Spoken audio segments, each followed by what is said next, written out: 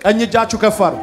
ከኔ ጋር ብድግ በሉና ወጥቻለሁ ከጭንገፋ ከጭንገፋ ከድህነት ከመርገም ከጉስቁልና ከተያዝኩበት ነገር በኢየሱስ ስም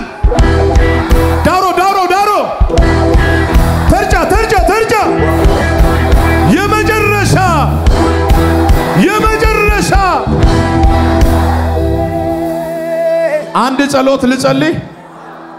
እዚህ ጉባኤ ውስጥ ወደ ሃያ ሁለት ሴቶች እግዚአብሔር በነቢይ መስፍን መንታ ልጆች ይሰጡኛል እግዚአብሔር ብሎ ልብስ የልጅ ልብስ ይዞ የመጡ የት ናችሁ? የልጅ ልብስ ይዛችሁ የመጣችሁ ኑ ለእናንተ ልጸልይ።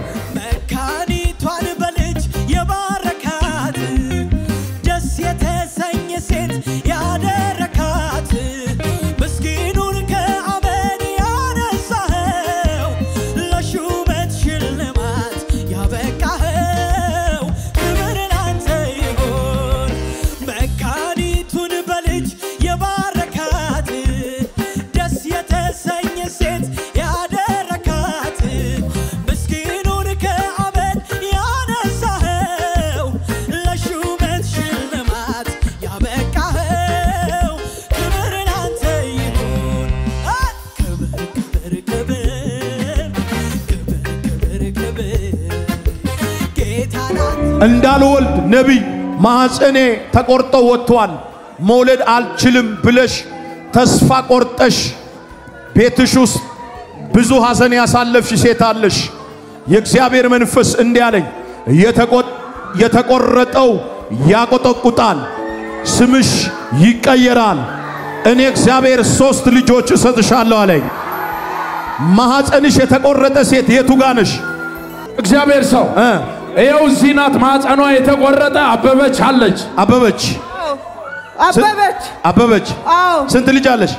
አንድም የለም። ስንት ዓመት ነው ካገባሽ? ሀያ ሶስት ዓመት 23 ዓመት አዎ ልጅ የለም። አዎ ማኅፀንሽ ተቆርጧል። ተቆርጧል። ትውለድ ዳውሮ ትውለድ ፈርጫ ትውለድ 23 ዓመት በሶስት ወር ተቀይረዋል። አሜን እጃችሁ ከፍ አድርጉና ትወልጃለሽ በለዋል። አሜን እንዲህ ብለሻል። እግዚአብሔር ወንድ ልጅ ይሰጠኛል ብለሻል። አሜን። ታምኛለሽ? አዎ ባለቤትሽ የት ነው ያለው? ቤት ነው ያለው። የት ነው የምትኖሪው?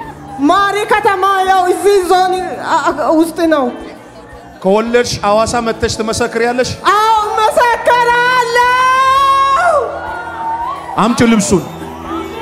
ትውለድ ወይ ትውልድ የእግዚአብሔር ሰው የተቆረጠ ማኅፀን ይምጣ። ይምጣ። እጃችሁ ከፍ አድርጉ።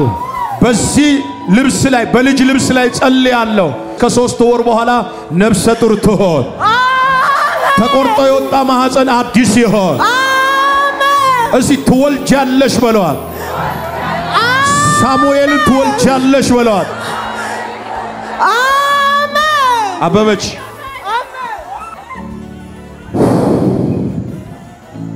አጨብጭቡ ለጌታ ለኢየሱስ። እጃችሁ ከፍ አድርጉ። እጢ ማኅፀናችሁን የዘጋ እጢ ከላያችሁ ላይ አሁን ገለጥ። መንታ ልጅ፣ ወንድ ልጅ፣ ሴት ልጅ አሜን በይ። የሚቀጥለው ወር ከሚቀጥለው ዓመት እዚህ ቤት ይዛችሁ ትመጣላት። ለምስጋና ሐዋሳ ጠብቃችኋለሁ። እጃችሁ ከፍ አድርጉ። የእግዚአብሔር እሳት ላያችሁ ላይ ያልፋል። ቀኝ እጃችሁ ከፍ አሁን እንዲህ ይለኛል ጌታ፣ መንፈስ ላያቸው ላይ ያልፋል። የመካንነት መጋረጃ ከላያቸው ይቀደዳል። ልጅ ይዛችሁ ትነሳላችሁ። በመንፈስ ብቻውን አይናችሁን ጨፍኑ፣ ዝም በሉ። መካንቷ ሰባት ተወለደች እንደሚል በዚህ ውሃ ውስጥ ሳሙኤል፣ ካሌብ፣ ኢያሱ፣ ዳንኤል ይወለድ። አንድ ሁለት ሶስት መንፈስ ቅዱስ እለፍ።